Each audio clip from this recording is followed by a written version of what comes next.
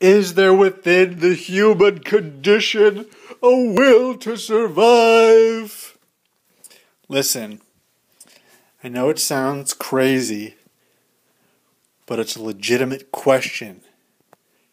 If you close your eyes and you go alone to a world that is only yours,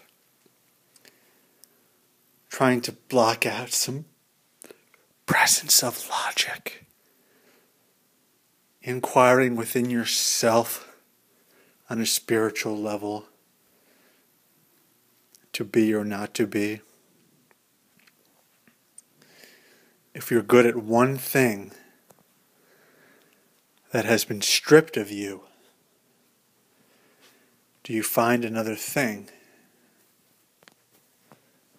Where do you go? What do you do?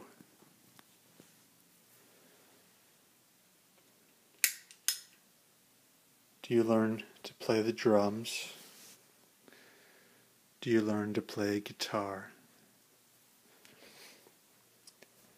When fruit no longer has a sweet, sugary taste. Listen. Clap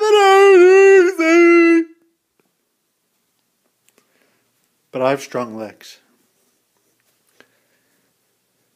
But if I'm going to climb to the top and there's no flag up there, okay, where are you going to go?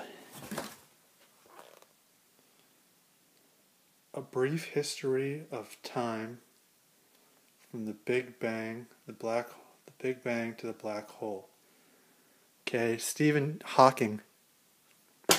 That fool asking himself questions about bags, of big old bag bags. That fool crazy.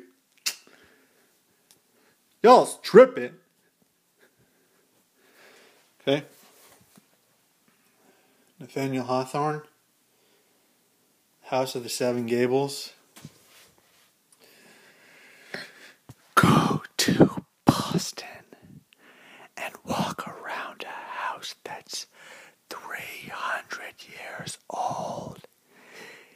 Creaky floorboards. Spirits haunting. It's crazy.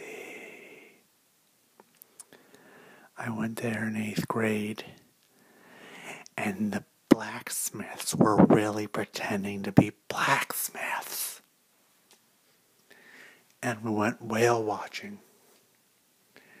And I was in one of the rooms with some cool kids, maybe. But I wasn't cool in eighth grade. Because sometimes smart people aren't cool because they don't know how to process what's going on. This, no, I'm not going to go there. Forget it. Look at this. Henry Roth, Mercy of a Rude Stream. That's a weird title. One might speculate what it means rude stream, not like rude, but maybe rude like commonplace. Uh, Memoirs of Brighton Beach. You gotta watch that. Do it, do it, do it, do it, do it. No, seriously though. Um, that's what I was saying. Fyodor Dostoevsky, The Idiot. I don't know why all these titles are coming up backwards. Um, I read some of it. I'll read some more. It's about finding your way in the world. When you're when your thinker is not as the thinkers of others. Think about it.